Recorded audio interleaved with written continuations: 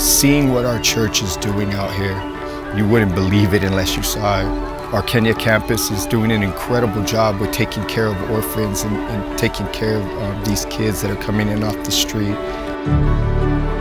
Um, something I would never forget about this trip is just the relationships um, we formed both with our Kakamega team, with the children at our home, um, and just everywhere we're going around, a relationship has already been formed. So every time more team members come, we just add on to it and we just get closer as a family.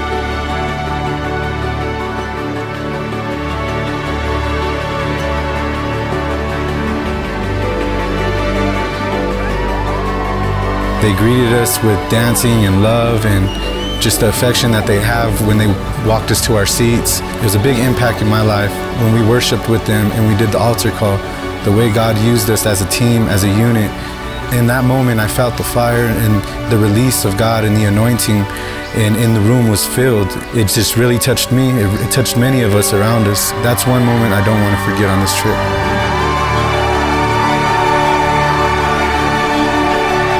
Was able to do what He needed to do in each one of us. And in that moment, we were really in a glory cloud, and the Holy Spirit just flowed and it prepared us to be able to go into a powerful time where we all got a chance to minister and see miracles happen. We're called to reach people, especially the orphans and the widows, and not just to reach them, but to reach them in the time of need.